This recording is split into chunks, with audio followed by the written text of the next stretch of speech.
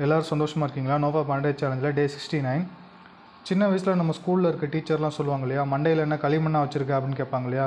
உண்மையிலே நம்ம தலையில் வந்து பார்த்திங்கன்னா களிமண் தான் இருக்குது அதாவது நம்ம மூளையை தான் சொல்கிறேன் அப்போ களிமண்ணை வச்சு என்ன வேணால் செய்யலாம் இல்லையா? எந்த பொம்மை வேணால் செய்யலாம். நீங்கள் எப்படி நினைக்கிறீங்களோ அந்த ஸ்டேஜுக்கு மாற்றலாம் அதே மாதிரியே உங்கள் மூளையவும் உங்களால் மாற்ற முடியும்.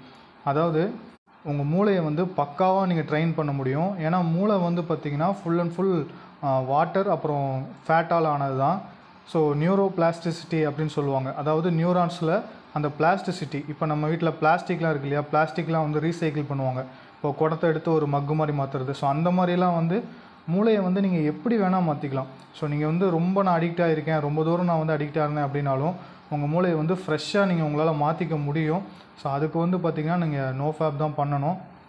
அப்போது உங்களோட உடம்புக்கு நீங்கள் தான் ராஜா. அதாவது இந்த சோல் அப்படிம்பாங்க இல்லையா?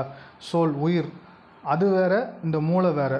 ஸோ மூளை வந்து மந்திரி மாதிரி. அப்போ இந்த ராஜாவுக்கு வந்து இந்த மந்திரி வந்து வேலை தான் பார்க்கணும் இல்லை ஆலோசனை சொல்லணுமே தவிர இந்த மந்திரியை எல்லா வேலையும் பார்த்துடக்கூடாது.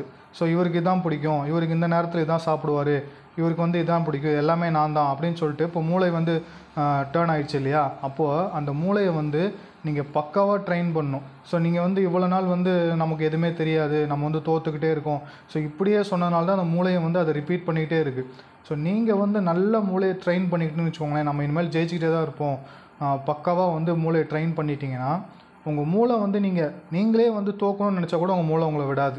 நாளைக்கு வந்து நீங்களே ஏதோ ஒரு தவறான செயல் சொன்னாலும் இல்லை இல்லை நல்லா தானே போயிட்டுருக்கு ஏன் பண்ணணும்? அப்படிங்கிற மாதிரி உங்களை தப்பே பண்ண விடாது.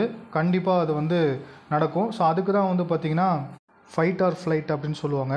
ஸோ அந்த மாதிரி வந்து உங்களுக்கு வந்து ஆபத்து காலங்களில் எப்படி வந்து உங்கள் மூளை வந்து செயல்படுமோ அதை வந்து நீங்கள் உருவாக்கி வைக்கணும். அந்த ரெஸ்பான்ஸ் வந்து உங்கள் மூளை வந்து உங்களுக்கு தரும். Stay strong thank you